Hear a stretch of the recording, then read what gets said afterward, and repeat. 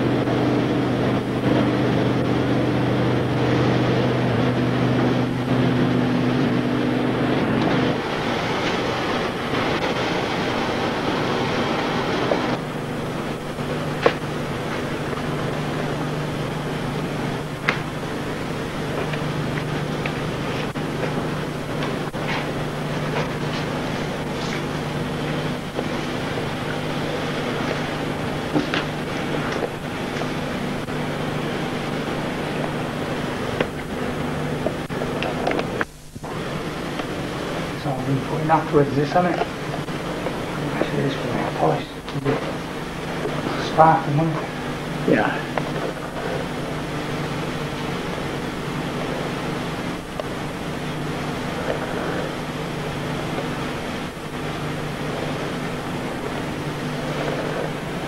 Up there as well, isn't there?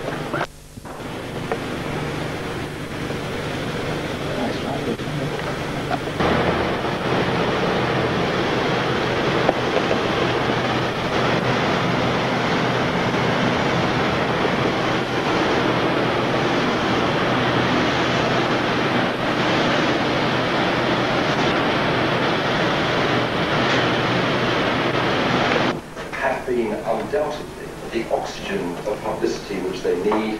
Very often, the Liberal Democrats' revivals in the past have been created as a result of sensational by-election results. And a by-election does feed a political commentator for about two months ahead with plenty of column inches. I am Raphael reporting. That's it for this week. Do keep in contact with us by email at more or less, that's all one word, at bbc.co.uk or by post to BBC Broadcasting House, London W1A 1AA. We'll be back next week. More or less is presented by Andrew Dilnot, Principal of St Hugh's College, Oxford, and produced to appeal.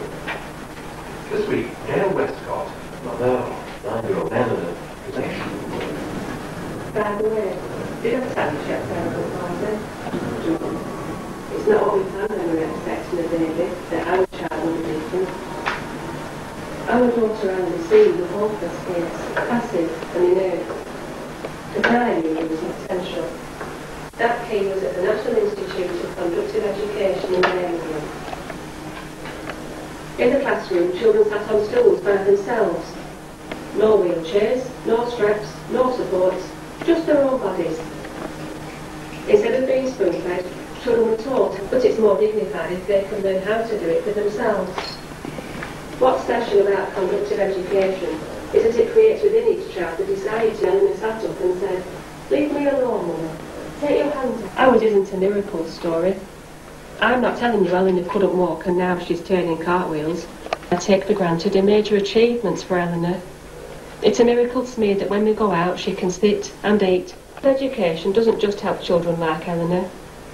Adults with disabilities like Parkinson's disease, strokes and multiple sclerosis. Okay. Oh. The institute is on our doorstep. But for many families across the UK it's not so easy. Conductive education available to everyone. Okay? Can't have a low calendar. Please make a donation.